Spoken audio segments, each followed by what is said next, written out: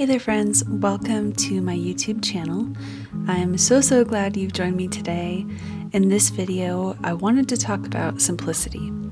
I'm painting my friend Tiffany's wedding bouquet today, and it felt like an appropriate topic as her gorgeous little bouquet that you're about to see was made completely from flowers from Kroger.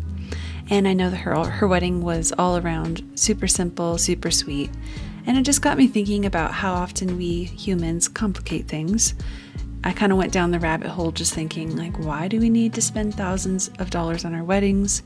Why do I personally feel the need to have maybe the latest technology or more art supplies? Why do I feel the need to be on so many different social media sites, to have all of these subscriptions, some that I barely even use? And maybe you relate on some level. When I first got started with my business, I thought I needed to do everything in the same way that other people were doing it. And to be fair, when you're just getting started with something, you kind of have to throw stuff at the wall and see what sticks. It's hard to know where you'll connect with your audience, what type of art to create. I get it, it takes some experimentation.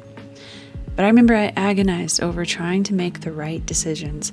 Should I make prints? Should I dropship? Should I be doing live events? Should I try to talk to galleries? Should I try and seek out wholesale accounts?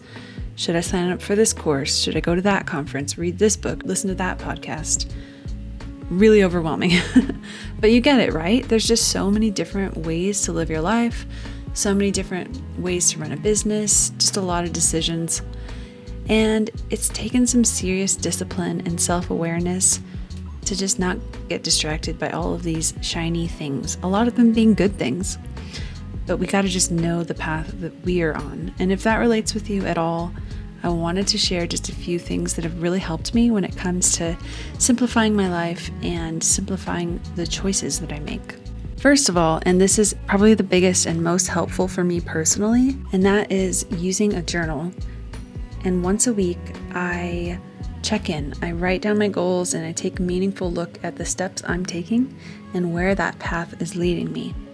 Is it somewhere I want to go? Each week, I ask myself these questions. I ask myself, one, what's working? Like, just what's working during this last week? Two, does anything need adjusting? And three, what areas am I feeling filled up and energized? And what areas are making me feel drained and frustrated?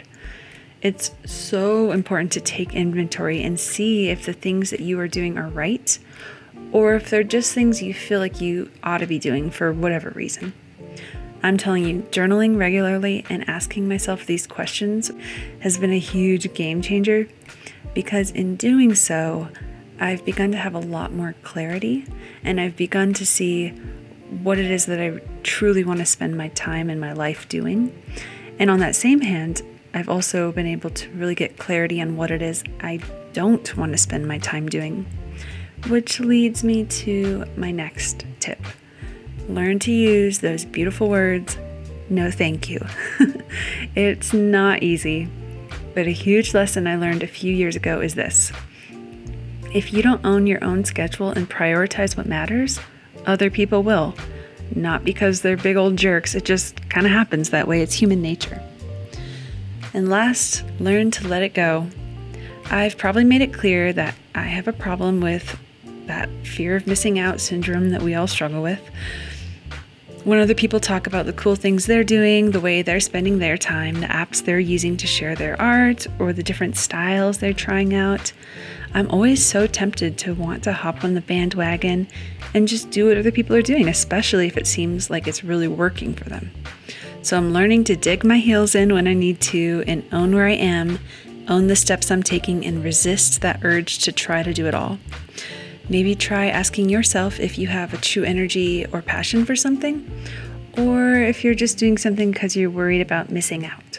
For me, that's usually what it is, if I'm being honest. and if you're feeling like this is a huge struggle for you, I have a few books that I highly recommend. Uh, the first one is called Boundaries by John Townsend and Henry Cloud, The Life Changing Magic of Tidying Up by Marie Kondo, and Essentialism by Greg McKeown. These books have helped me really just learn what matters and what doesn't, what I want in my life, what I don't, how to take steps to simplify my life, and how to focus on where my most valuable contribution in life really is.